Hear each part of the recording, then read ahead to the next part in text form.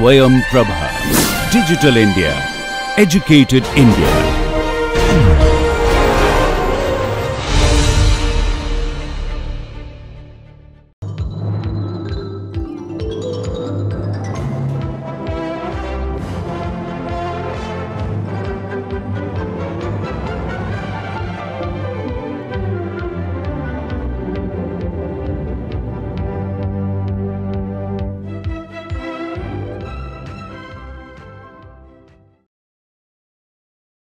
Good morning. This is a stochastic process uh, model 4 discrete time Markov chain and this is the lecture 2 and in this lecture we are going to discuss about the Chapman Kolmogorov equations then we are going to discuss a n step transition probability matrix and we are going to discuss a few more uh, examples in this lecture.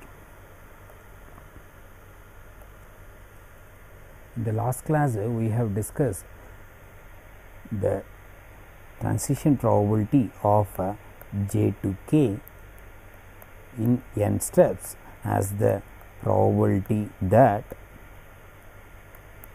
the x m plus n takes a value k given that x m was j. For n is greater than or equal to 0 and j belonging to S.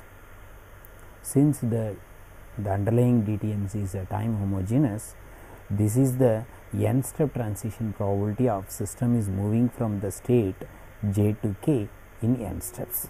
So, this we denote it as the conditional probability of p j comma k in n step transition probability where i comma j is belonging to S where S is the state space and n can take the value greater than or equal to 0. Also we have discussed in the last class what is the one step transition probability of p j comma k it is we can write it within the bracket 1 or we can remove the bracket 1 in the superscript also that is nothing but what is the probability that the system will be in the state k in n plus 1th step given that it was in the state j in the nth step. Here also j comma k belonging to capital S. So, this is the one step transition probability. So, our interest is to find out what is the distribution of x n.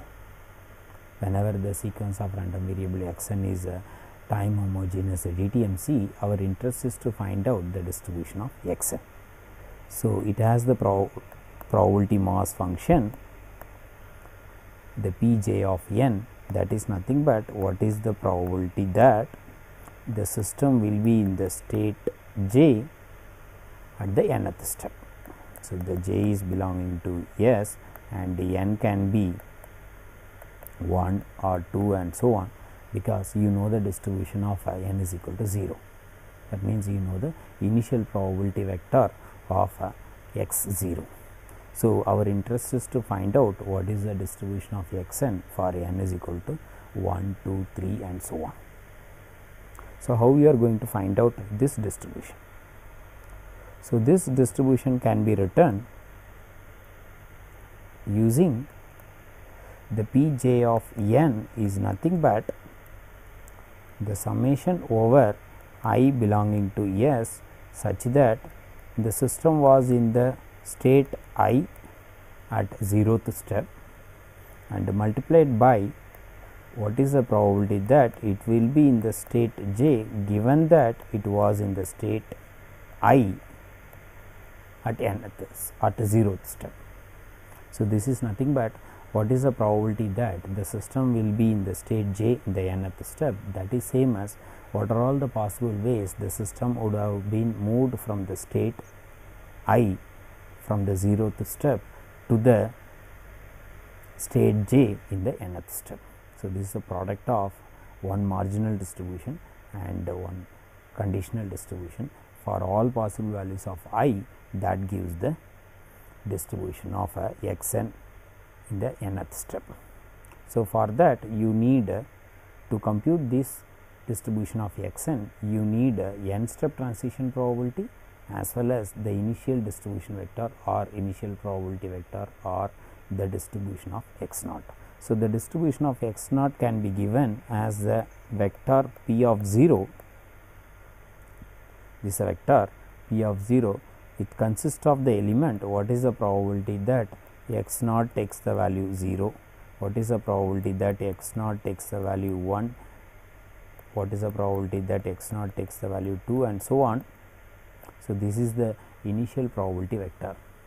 Why we have taken the state 0, 1, 2 and so on unless otherwise as mentioned the set of uh, the state space that is going to be the possible values of 0, 1, 2 and so on. This uh, unless otherwise it is assume it you can take always these values. So, this is the initial probability vector or initial distribution vector.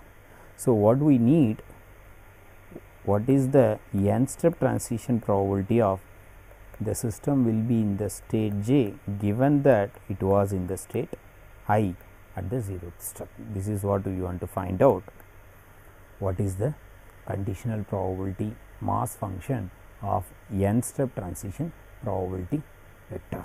So, that we can write it in the form of p i comma j of superscript n that is nothing but the probability of the system will be in the state j given that the system was in the state i at the zeroth step.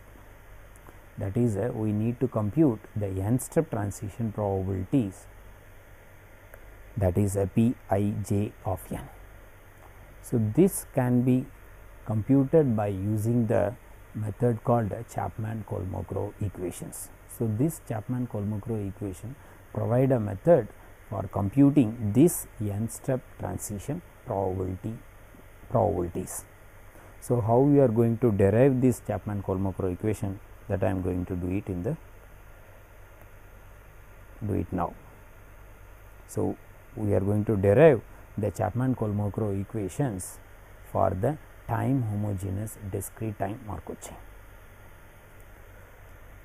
So, let the p i j of superscript n that is nothing but what is the probability that the x m plus n takes a value j given that x m was i.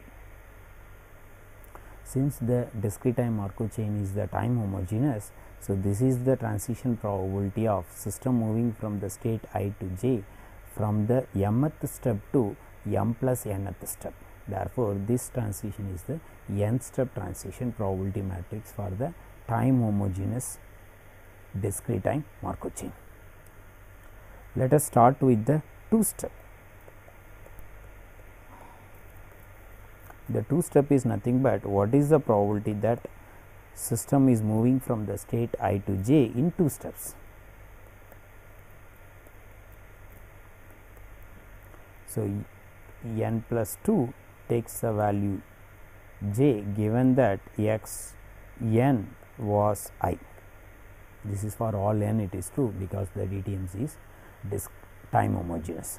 So, this probability you can write it as this two step transition probability of system moving from i to j the state i to the state j in two steps that you can write it as what are all the possible ways the system is moving from the state i to j by including one more state in the first step the state is k given that the system was in the state i in the nth step for all possible values of k belonging to S. I can write this uh, conditional two step uh, conditional probability mass function from the nth step to n plus uh, second step that is same as I can include one more possible state of k in the n plus 1th step. Now, I can expand this as that is same as possible values of k and what is the probability that the system was in the state j in the n plus second step and the system was in the state k in the n plus 1th step the system was in the state i in the nth step divided by what is the probability that in the nth step it is in the state i. The numerator joint distribution of these three state these three random variable that I can write it as in the form of conditional. What is the conditional probability that the x n plus 2 takes the value j given that x n plus 1 takes the value k and x n takes the value i product of x n plus 1 takes the value k comma x n takes the value i divided by what is the probability that x n takes a value i and here the summation is over the k. So, basically I am writing the numerator joint distribution of these three random variable as the product of a conditional distribution with the marginal distribution of those two random variable. Since the xi's are the time homogeneous uh, Markov chain, this conditional distribution by using the Markov property is same as the conditional distribution of x n plus 2 takes the value j given that only the latest value is important. The latest value is uh, needed not the previous history. Therefore uh, the because of the memoryless property x n takes the value i is uh, removed therefore this conditional distribution is the conditional distribution with only x n plus 1 with x n plus 2 and similarly I can apply the joint distribution of these two random variable x n plus 1 and x n. I can again write it as the probability of x n plus 1 takes the value k given that x n takes the value i and the probability of x n takes the value i whole divided by probability of x and takes the value i. So, this and this get cancelled. So, this is nothing but the conditional probability this is nothing but the one step transition probability of system moving from k to j and the second term is a one step transition probability of system is moving from i to k. Therefore, the left hand side we have what is the two step transition probability of i to j is same as all possible values of k. What is the one step transition probability of system is moving from i to k and one step transition probability of k to g. So, this product will give the two step transition probability of system is moving from the state i to j that is same as what is the possible values of k the system is moving from the state i to k and k to j. So, this is for the two step. Similarly, by using the induction method one can prove i to j of m plus 1 steps that is same as what is the possible values of k the system is moving from one step from i to k and uh, m steps from k to g. This is a two step. So, this one step from i to k and one step from k to j by induction I can prove the m plus 1 step will be i to k and k to j in m steps. Similarly, I can make it in the other way around also it is i to k in m steps and k to j in one step also. That combination also will end up uh, the m plus 1 step the system is moving from i to j. In general, we can make the conclusion the system is moving from i to j in n plus m steps that is same as the possible values of k of probability of system is moving from i to k in m steps and uh,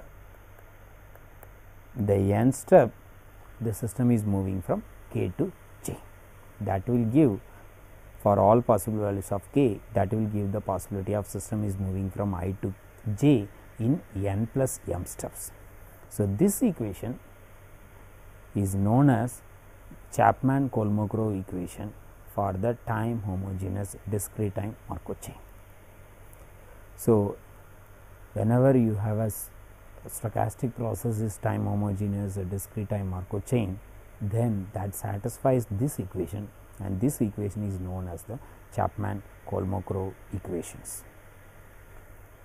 In the matrix form, you can write the capital P is the matrix which consists of the element of one step transition probability one step transition probabilities. In that case, if you make m is equal to 1 and n is equal to 1, then the matrix of P of superscript 2 that is the in matrix form of a two step transition probability that is nothing but if you put n is equal to 1 and m is equal to 1 you will get p into p and that is going to be p square.